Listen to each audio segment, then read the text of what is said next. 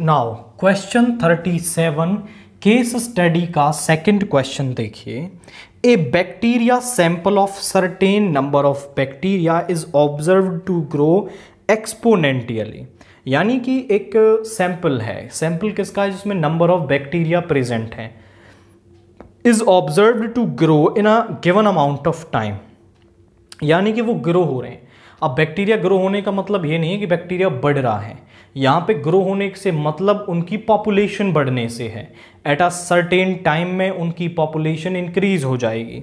Using exponential growth model the rate of growth of is sample of bacteria is calculated कि at any time कुछ time के साथ उसकी जो rate of growth है, उसे कैलकुलेट कर लिया गया है। अब यहाँ पे वैसे जनरली क्या होता है कि ये जो केस स्टडी का ऊपर वाला पार्ट है, इसका जनरली बहुत रेयरली ही कोई कनेक्शन होता है क्वेश्चन के साथ। ये केवल आपकी नॉलेज को बूस्ट करने के लिए वो बताते हैं। अब क्वेश्चन कहाँ से शुरू हो रहा है?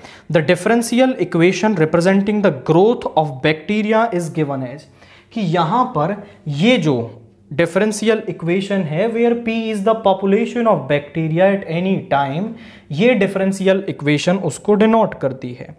Based on the above information answer the following question इस इंफॉर्मेशन को माइंड में रखते हुए हमारा जो जनरल सोल्यूशन है वो हमें बताना है। That is first first question कर रहे हैं हम। The given differential equation is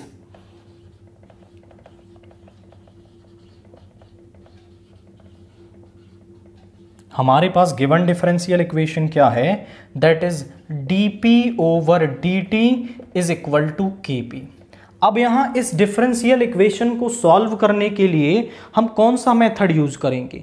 We are going to use variable separable method because यहाँ वेरिएबल्स को सेपरेट किया जा सकता है। तो यहाँ इस p को इस तरफ़ ले आओ, इस dt को इधर ले आओ। तो one upon P D P is equal to K D T taking integration on both side.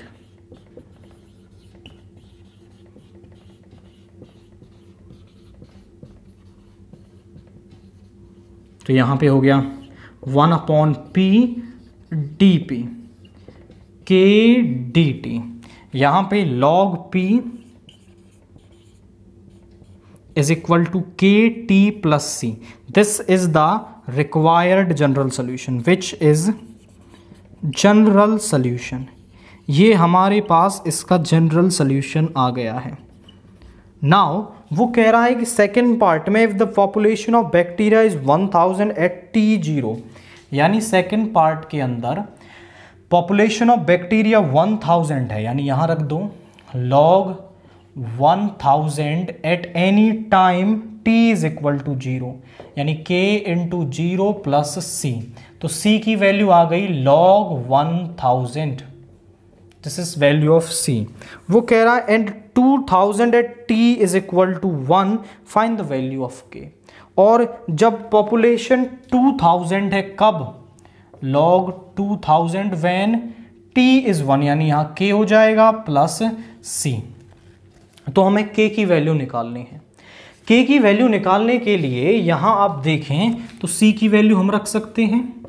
K plus log one thousand is equal to log two thousand इस तरफ़ ले आइए।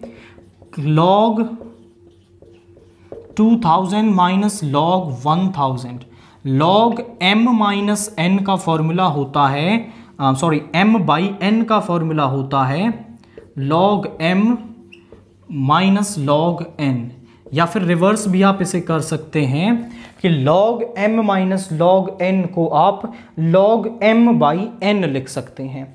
तो यहाँ पे m ये है, n ये है दैट इज़ log 2000 अपॉन 1000 यानी k की जो वैल्यू है, वो लॉग टू आ गई। क्वाइट सिंपल क्वेश्चन था। पहले हमें इसका जनरल सोल्यूशन ऑप्टेन करना था।